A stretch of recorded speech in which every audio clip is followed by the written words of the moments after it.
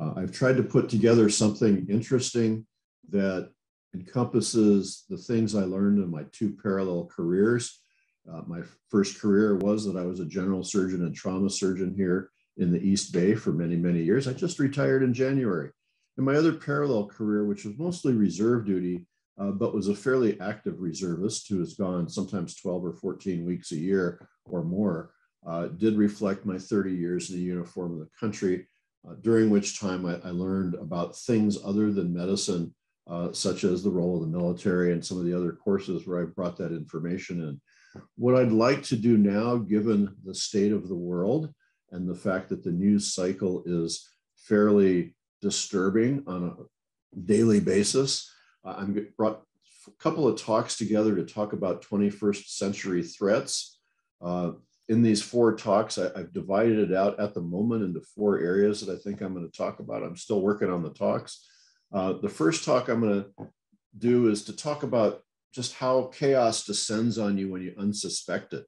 Uh, you know, in Ukraine, nobody expected that artillery and missile strikes would start coming in on February 24th. They just didn't believe it. Most people didn't believe it.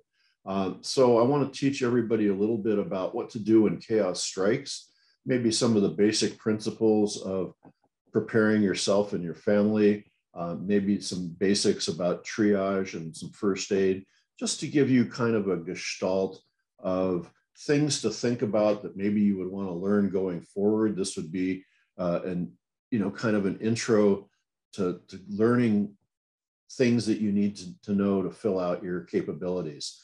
Um, the second course at the moment that I'm thinking about because it's so timely is biologic threats. And, and biologic threats come from a variety of sources. Uh, we know that they can come from, uh, you know, zoonotic diseases that are transmitted from uh, animals, you know, like the avian flu uh, or current COVID SARS, which may be a lab accident.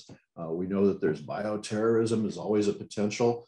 Um, so I'm going to review some of the elements of that and talk a little bit about what our country needs to invest in to protect us from those kinds of things because we were not prepared for COVID. We did not do very well, uh, and we need to do a lot better because it's not over. The next mutation, the next uh, variation can come any time.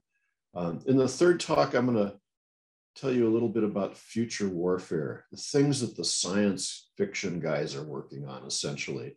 Uh, whoever dreamed we'd see uh, drones and robots and those kinds of things, but there is a lot more.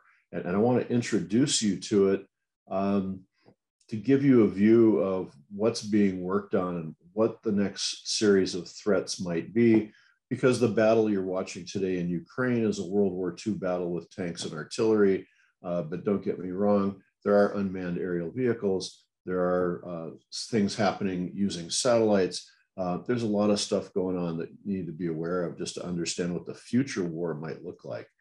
Uh, and then the last one, um, bringing in today's current events, I'm going to review the, probably the top 10 friction zones in the world and tell you what worries me.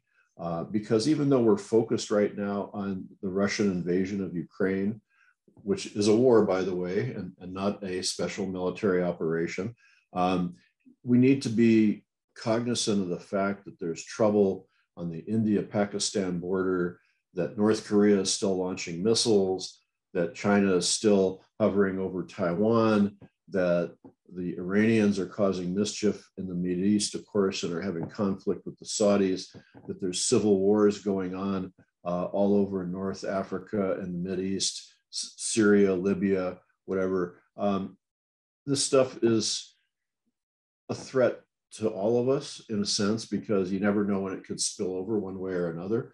So that's probably where we'll take that fourth talk.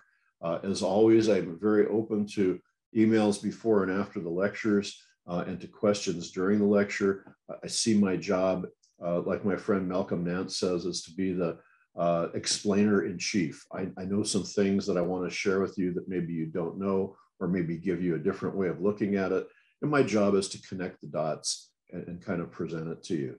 And this will be kind of a new area for us to get into. I think everybody will enjoy it who does, although you may lose a few nights of sleep as students have told me when I've given these lectures before. Thank you.